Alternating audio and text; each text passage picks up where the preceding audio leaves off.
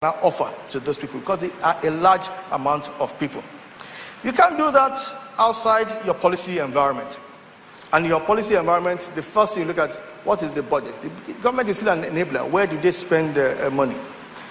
2016 estimate, only 15% went on capital expenditure, and that is what we stimulate growth. That's what we reduce the cost of doing business. The 2017 budget estimate is for 30%. But more especially, government is also a very large borrower now and is borrowing significantly from the domestic market. And it has an impact. When government is a large borrower in the domestic market, it crowds out what? The private sector. So if you're asking yourself, if government is a large borrower, where will the private sector, how will get access to loans? And what it also does, so that people can continue financing government, it has kept interest rates what? A bit what? Higher than would have expected. So you are operating in, a, in an environment where government itself is a major player and its activities has an impact on your ability to, to what, compete. But we have no problem with borrowing by government if it is going towards what? Capital expenditure. So that overall, the cost of doing business does come down. We have a Nigerian Economic Recovery Growth Plan. Good plan. I've been around for some time. There's no government that has come up with plans that we've not said they are good. Our biggest challenge has always been about what? Implementation.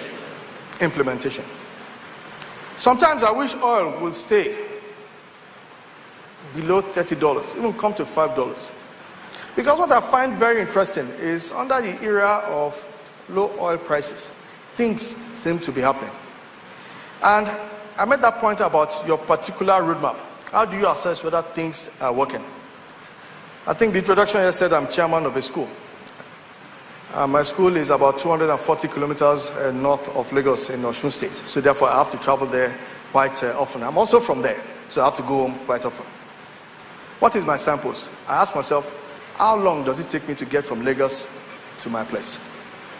Historically, it was a three-hour drive, 240 kilometers. So if you're averaging 80 to 100 kilometers per hour, it should be what?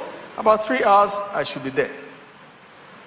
Up till last year, it became an average minimum of about four hours to any other thing because we all spent the night on Lagos Ibadan Expressway. Now, how do you operate in an environment where you cannot move around? How do you operate in an environment, even if I set up a factory, I cannot get to see my factory, I cannot get there. So, what are my samples? How long is it taking me to undertake this journey? All of a sudden, when people were telling me Nigeria was in recession, and things were not happening last year, my average time started doing what? Started what? Coming down.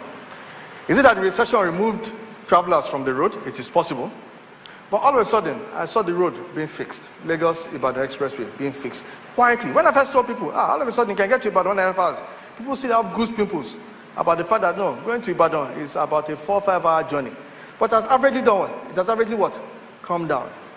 What are the samples on the road apart from that? The madness of what? Of Nigerians and their driving habits. You ask yourself, it's as if the bigger your car is, the more you have the right of way, irrespective of what the laws are like. So, moving on the road in Nigeria also gives an, an idea of our legal environment, our attitude. It's also on that road that you also see the average Nigerian and the big man. While everybody is screened up, the first person to break the law and to jump on the other side will always be a government official, a big man with his siren and his escort, and rapidly followed by the transport cars, by the transporters. so when I see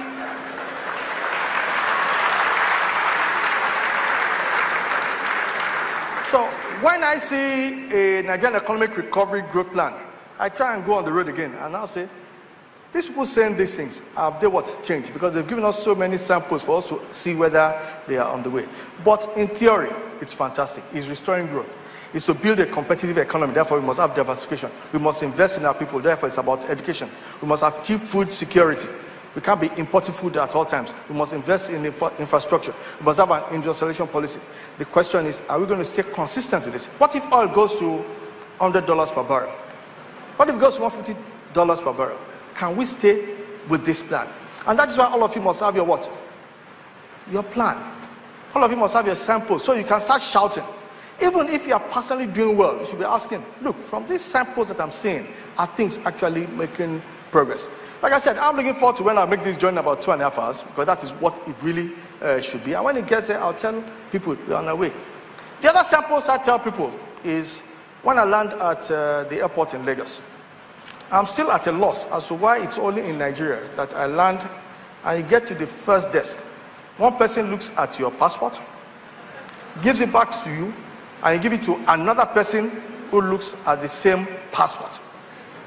And you are there just asking yourself, what is going on?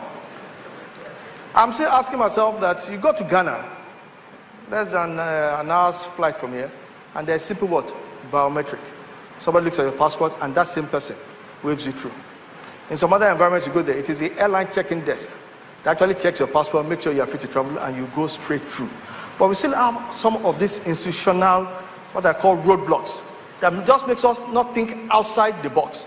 But we are so used to it as Nigerians that we believe it is what? It is what? Normal. So again, that's another sample. When will that airport be cleaned up? We're going through it is not really something you have to pray about. And where the people, irrespective of what we say, I still can't believe that this Oraisa mentality is still with us. In spite of all the noises we make about corruption, people say openly, openly, without any regard, say, ask you anything for us. Today is Friday. And you're wondering, and you're there in an airport. What if I was a visitor in which I can shrug that kind of statement that I have nothing for you? For a first time visitor to Nigeria, and somebody is asking him anything for you, today is Friday, and the guy is an official, it's in a uniform, he's holding your luggage, and he's really holding on to it, and he's asking until you insist. You see, those are some of the road signs. So the jury is still out. We'll have further comments on that. So where are the opportunities? Where are the opportunities for me to run through? Certainly there are growth areas. The biggest one will always be your construction. You must always look at agri, your arts and entertainment, technical services, and naturally you must look at uh, real uh, estate. On the construction side, clearly we hear about the contracts.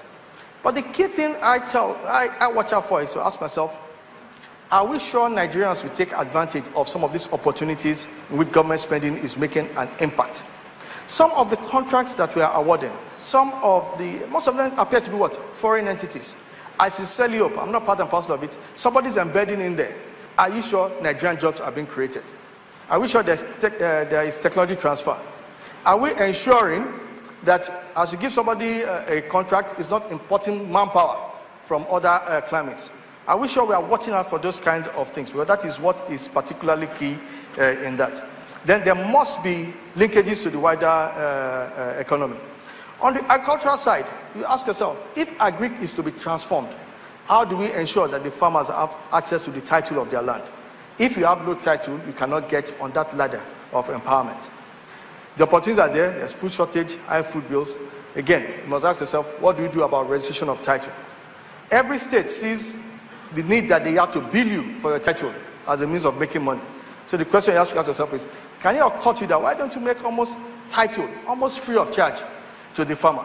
Because what happens is that if a guy comes for title and he has title, guess what you have? You have statistics.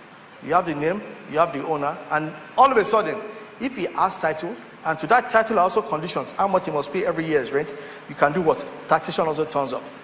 The way I see it, when I look at uh, farmland and access, nobody is disputing with the farmer ownership of the land. Nobody is disputing with him. So to him, he's been farming the land. And since somebody is disputing ownership with him, he cannot understand why he has to go to state capital to go and pay a large sum of money for somebody to tell him what he knows. But we know that without that title, he cannot have access to the financial uh, uh, sector art and entertainment is growing. It's one sector I tell people that please let them don't go and ask government. Because it was a sector that grew on the back of government non interference. And I hope that industry does not get the Nigerian attitude that anything you now want to start running to Abuja. Abuja has left you alone. You've grown. You're the second largest employer in the land. Please don't go back to Abuja and be asking them for what? For something. It is very key. What you should be asking for is how do we ensure, do you get, do you get it, that your talent, issue of uh, patent laws are in place, issue of copyright laws are in place. That's what you should be fighting for. That intellectual uh, uh, property is respected. How do you, how make sure that in that industry, people adhere to contracts? What when, sometimes you peep and you ask people what is going on there, it just people just do what they like. It's like Wild Wild West. But I believe that structures are coming into place. The other issue will always be the support services. You always think the accountants. They